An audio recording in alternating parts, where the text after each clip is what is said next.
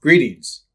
I would like to welcome you to our daily weekday Mass, held here at the National Shrine of St. Therese on the Carmelite campus in Darien, Illinois. The Carmelites cherish praying and celebrating with you. This shrine is the blessing of a generous gift from the Margie and Robert Peterson Foundation.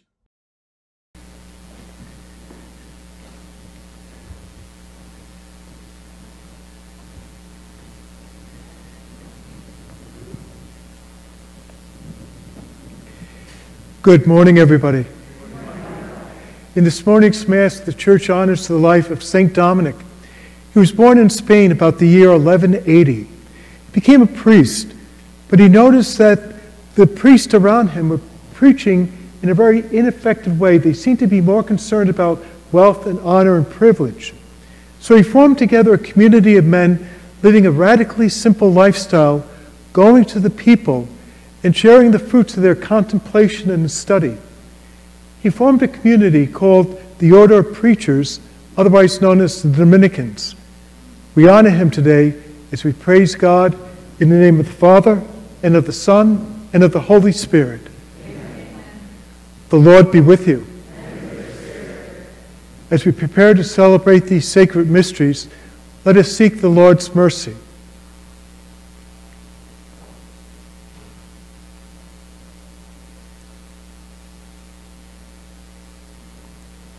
I confess to Almighty God and to you, my brothers and sisters, that I have greatly sinned in my thoughts and in my words, in what I have done and what I have failed to do, through my fault, through my fault, through my most grievous fault. Ever Virgin, all the angels and saints, and you, my brothers and sisters, to pray for me to the Lord our God. May Almighty God have mercy on us all, forgive us our sins, and bring us to life everlasting. Lord, have mercy. Christ, have mercy. Lord, have mercy. Let us continue our prayer.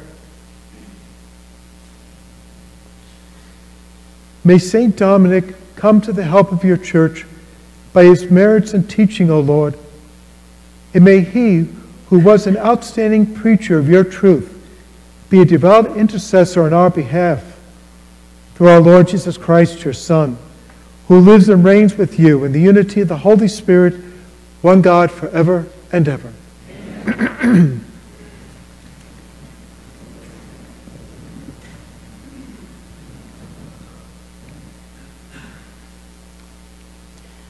A reading from the book of the prophet Ezekiel. On the fifth day of the fourth month of the fifth year, that is, of King Jehoiachin's exile, the word of the Lord came to the priest Ezekiel, the son of Buzi, in the land of the Chaldeans by the river Chebar. There the hand of the Lord came upon me. As I looked, a storm wind came from the north. A huge cloud with flashing fire enveloped in brightness, from the midst of which, the mist of the fire, something gleamed like electrum. Within it were figures resembling, resembling four living creatures that looked like this. Their form was human.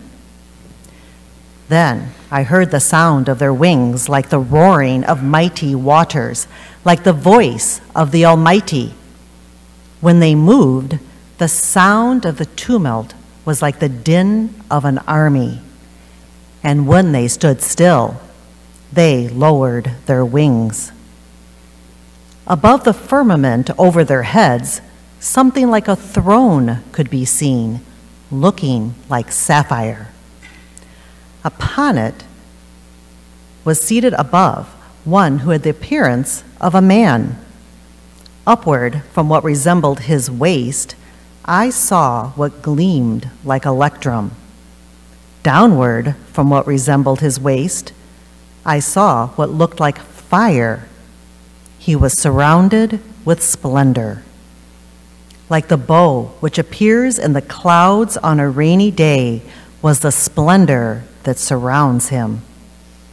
Such was the vision of the likeness of the glory of the Lord. The word of the Lord. Thanks be to God.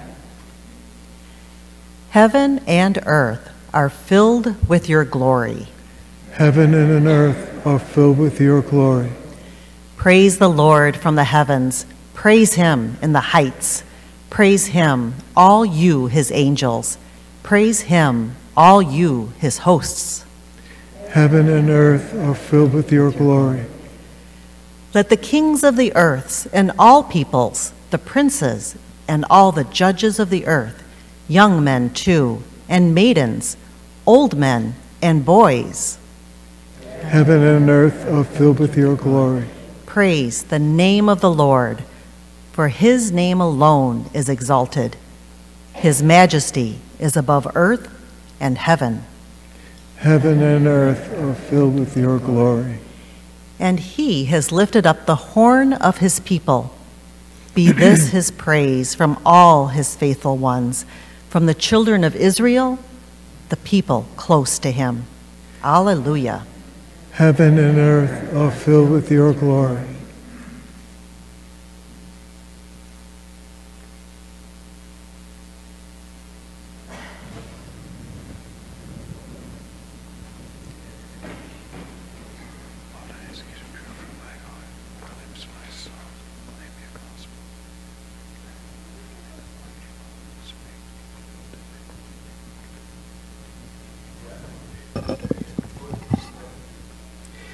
The Lord be with you.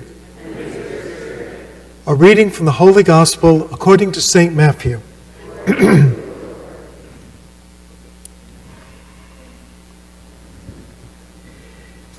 As Jesus and his disciples were gathering in Galilee, Jesus said to them, The Son of Man is to be handed over to men, and they will kill him, and he will be raised on the third day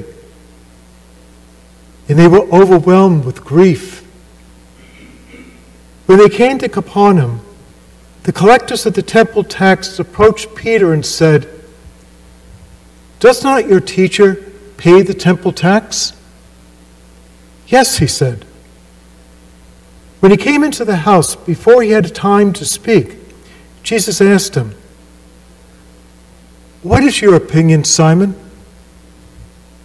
From whom do the kings of the earth take tolls or census tax? From their subjects or from foreigners? When he said, From foreigners, Jesus said to him, Then the subjects are exempt. But that we may not offend them, go to the sea, drop in a hook, and take the first fish that comes up. Open its mouth, and you will find a coin worth twice the temple tax. Give that to them, for me and for you. The Gospel of the Lord.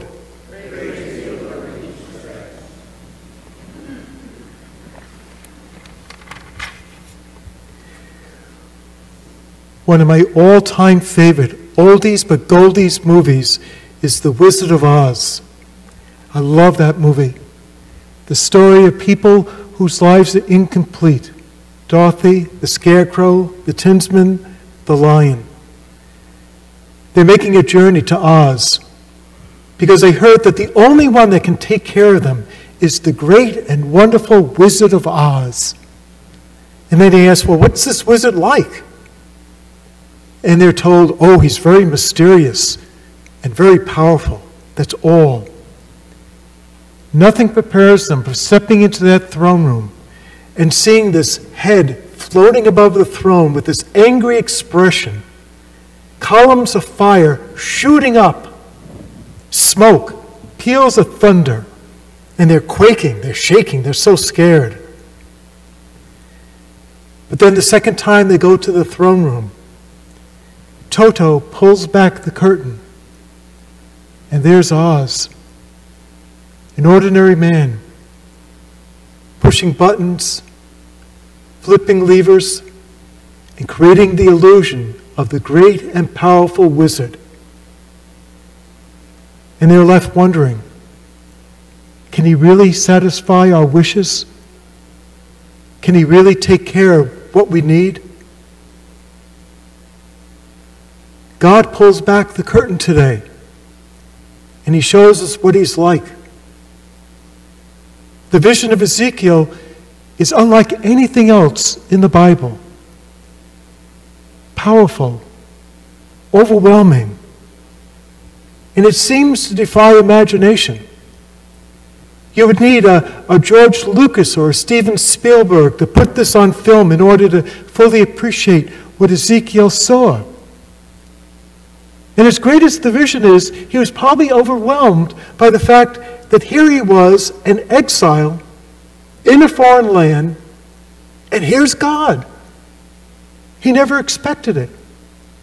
The belief was that the glory of God only stayed in the temple, that God was limited to the boundaries of Judah.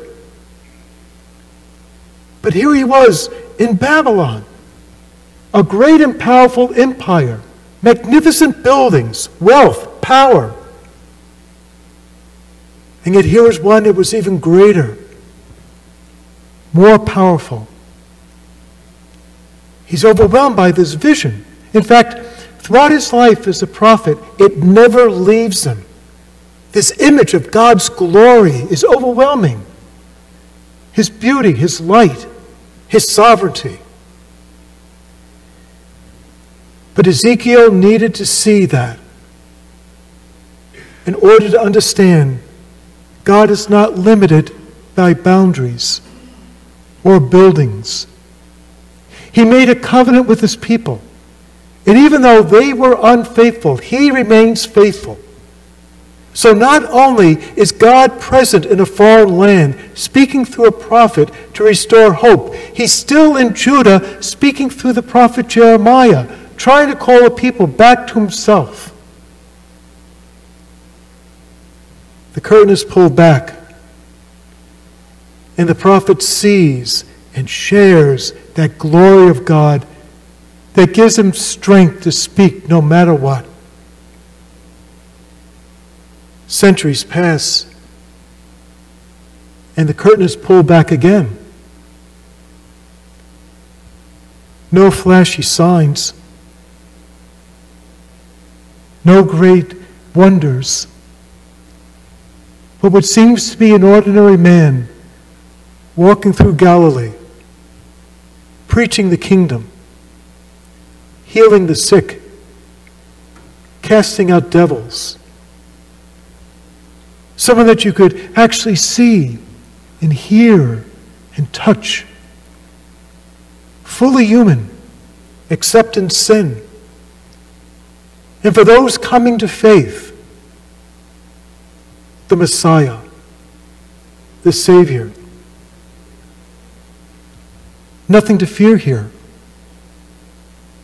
But everything that would satisfy the human heart is being given.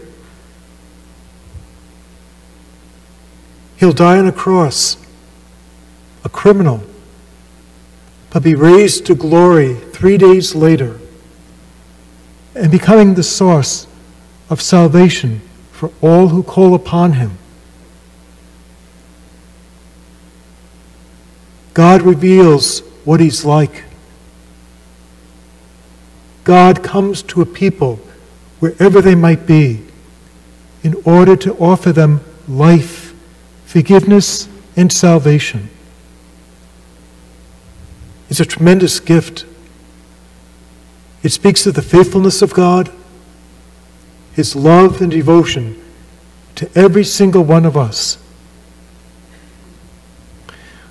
But once that appearance is made, once you are aware of his presence, what are you going to do? How are you going to live? Ezekiel had this courage to speak the truth. Do we?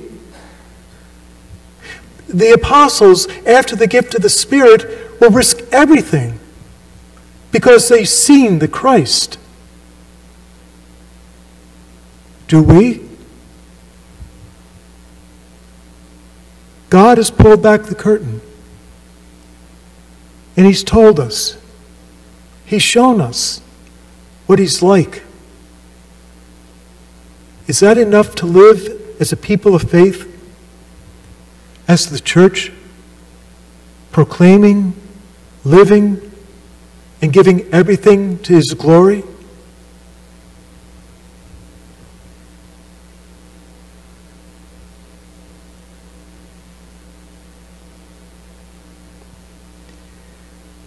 Let us gather together our prayers and entrust them to our Father in heaven.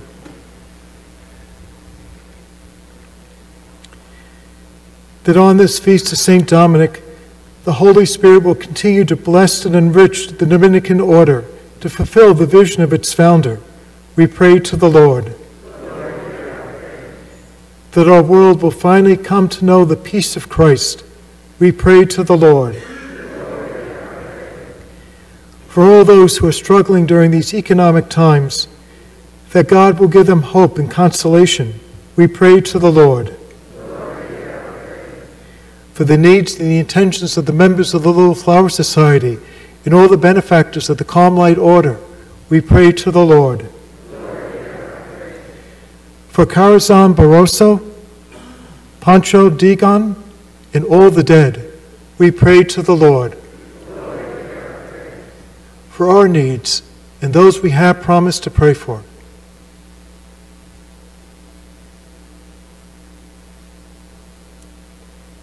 We pray to the Lord. Only you, Lord, can satisfy the restlessness and the emptiness of our hearts. Come quickly, then. Give answer to our prayers according to your will, as we make them known in the name of Jesus, who is Lord and Savior forever and ever.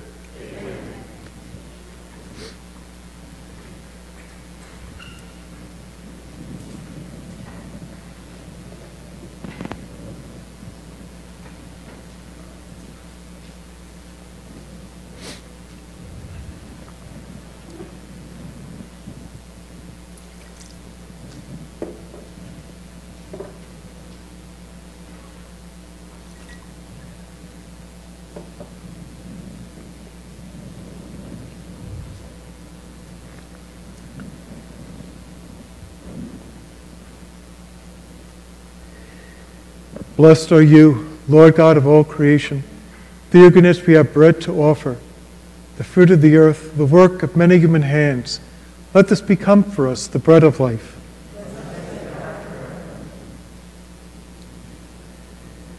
Blessed are you, Lord God of all creation.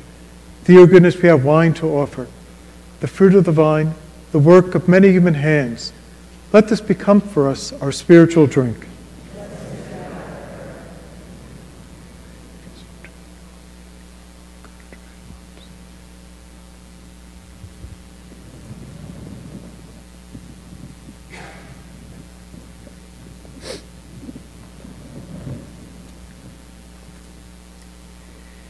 Pray with me, brothers and sisters, that my sacrifice and yours will be acceptable to God, the Almighty Father.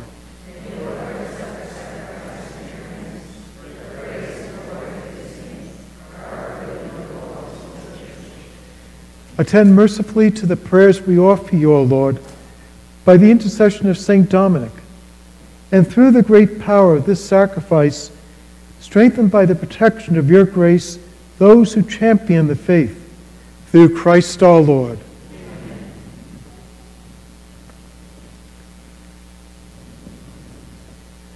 The Lord be with you. Lift up your hearts. Let us give thanks to the Lord our God.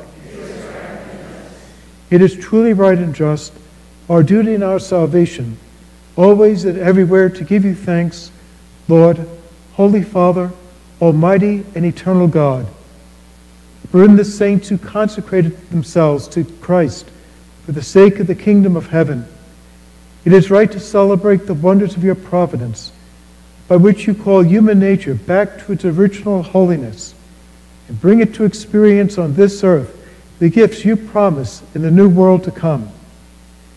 And so, with all the angels and saints, we praise you as without end we acclaim Holy, holy, holy Lord, God of hosts, heaven and earth are filled with your glory. Hosanna in the highest. Blessed is he who comes in the name of the Lord. Hosanna in the highest.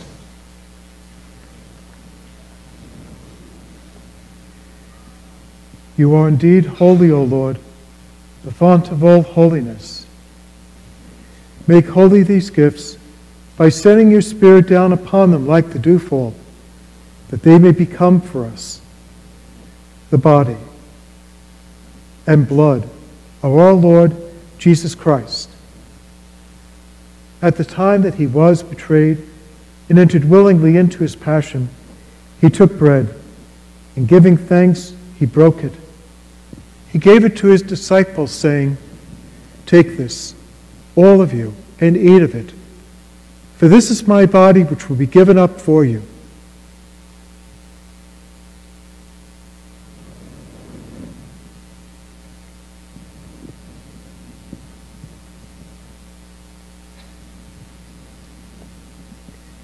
In a similar way, when supper was ended, he took the chalice, and once more giving thanks, he gave it to his disciples, saying, Take this, all of you, and drink from it.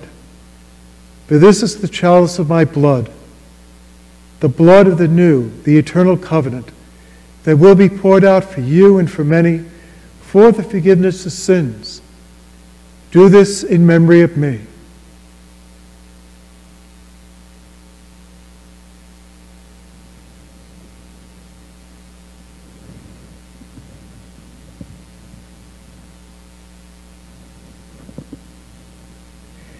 The mystery of faith, we proclaim your death, O Lord, and profess your resurrection till you come again.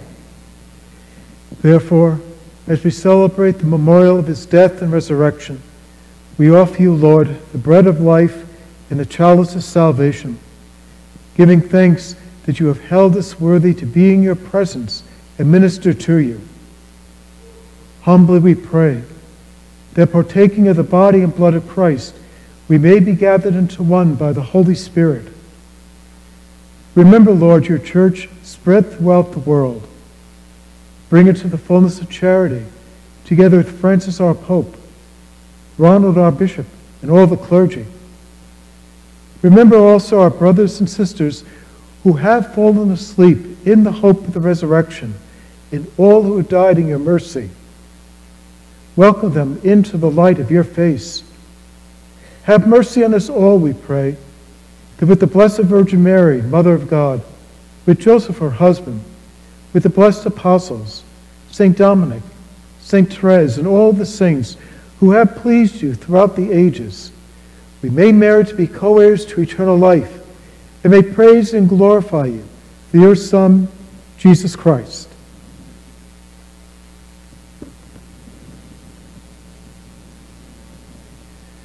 Through him, with him, in him. O God, Almighty Father, in the unity of the Holy Spirit, all glory and honor is yours forever and ever. Amen. At the Savior's command, informed by divine teaching, we dare to pray. Our Father, who art in heaven, hallowed be thy name. Thy kingdom come, thy will be done, on earth as it is in heaven. Give us this day our daily bread, and forgive us our trespasses, as we forgive those who trespass against us. And lead us not into temptation, but deliver us from evil. Deliver us, Lord, we pray, from every evil. Graciously grant peace in our days, that by the help of your mercy we may always be free from sin and safe from all distress, as we await the blessed hope in the coming of our Savior, Jesus Christ. Lord Jesus Christ, you said to your apostles, Peace I leave you, my peace I give you. Look not on our sins, but on the faith of your church, and graciously grant her peace and unity in accordance with your will, who live and reign forever and ever. Amen. The peace of the Lord be with you always. Let us share that peace with one another.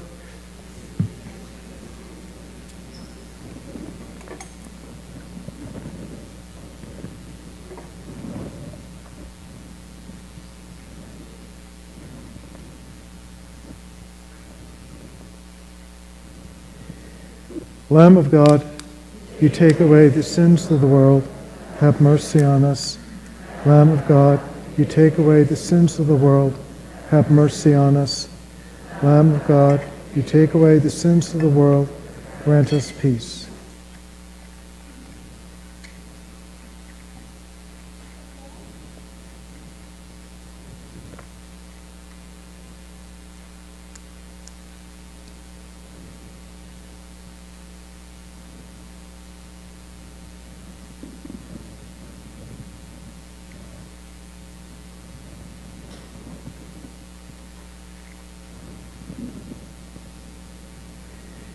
Behold the Lamb of God. Behold him who has taken away the sins of the world. Blessed are the people gathered to share in the supper of the Lamb. Lord, I am not worthy that you should enter under my roof. Only say the word, and my soul shall be healed.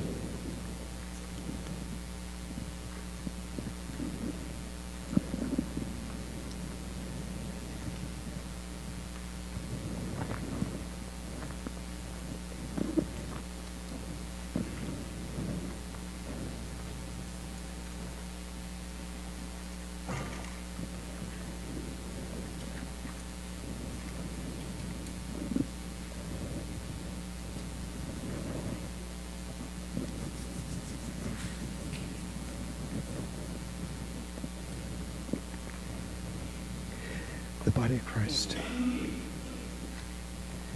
The body of Christ. The body of Christ. Amen.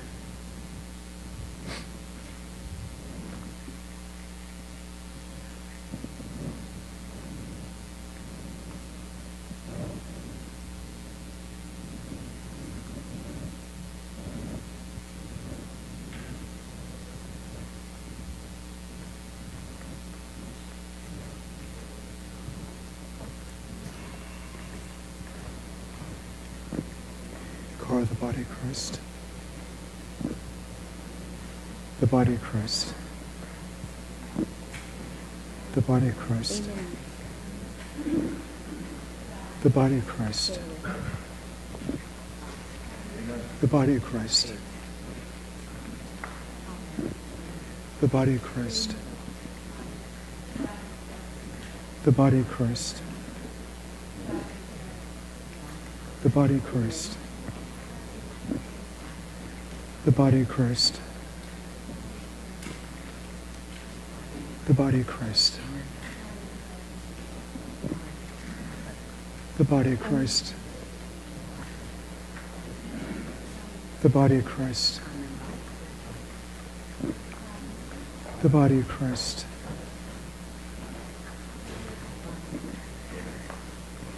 The body of Christ. The body of Christ. The body of Christ. The body of Christ. The body of Christ. The body of Christ. Amen. The body of Christ. Amen. The body of Christ. The body of Christ. The body of Christ. The body of Christ.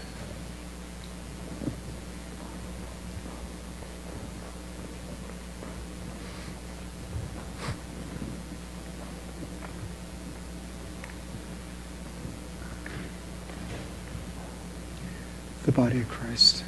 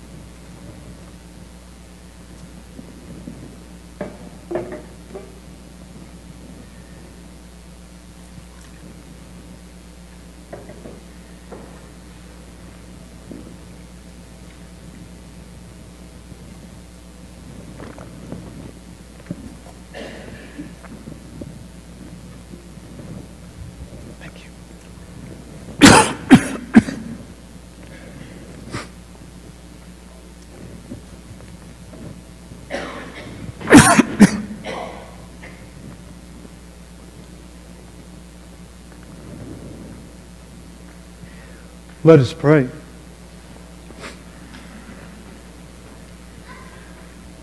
May your church, O Lord, receive with wholehearted reverence the power of this heavenly sacrament by which we have been nourished on the commemoration of St. Dominic. And may your church, having flourished by means of his preaching, be helped through his intercession, through Christ our Lord.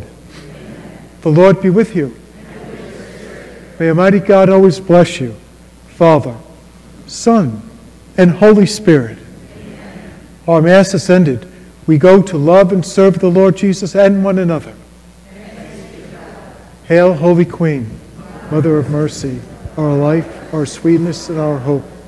To thee do we cry, for vanished children of Eve. To thee do we stamp our sighs, valley of tears. Turn, our most gracious advocate, thine eyes of mercy towards us, and after this our exile, show unto us the blessed fruit of thy womb, Jesus. O clement, O loving, O sweet Virgin Mary, pray for us, most holy Mother of God. Our Lady of Mount Carmel, Saint Dominic, Saint Therese. Hope all of you have a good day today.